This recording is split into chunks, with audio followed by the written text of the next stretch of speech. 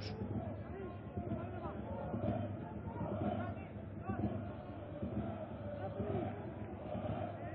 Γιώργος Αργυρόγλου σωστά υπενθυμίζει την αντεπικοινωνία. Δεν τον ακούτε εσείς ότι ο Παντελιάδης που ήδη έχει πάρει αρκετά μετραφόρα βρήκε και ένα άνοιγμα στις διαφημιστικές πινακίδες.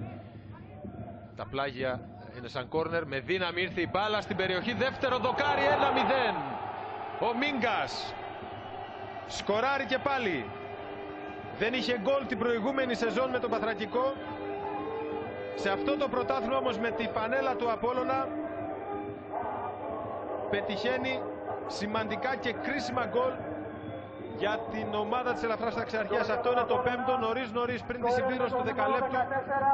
Ο Απόλλων ανοίγει το σκορ ενώ παρανομαστεί και η είσοδος του Σουάρες και του Μπέρτου και του Τριάδη. Ο Μπέρτος βέβαια πήγε πίσω αλλά θέλει από αυτόν περισσότερες προωθήσεις. Κοινός παρανομαστής να προσπαθήσει να κάνει ο Νίκος Κεχαγιά την ε, Ξάνθη πιο επιθετική, πιο απειλητική. Πάλι ο Παντελιάδης, ένα ακόμη πλάγιο out στο 67 για τον Απόλλωνα. Αλλά στα καρέ του Τσέμα, η κεφαλιά και 2-0 με καρμπόν.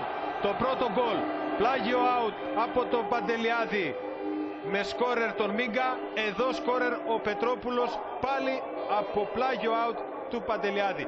Και μία ακόμη φάση στην οποία οι γηπεδούχοι κυριαρχούν στον αέρα έναντι των φιλοξενούμενων.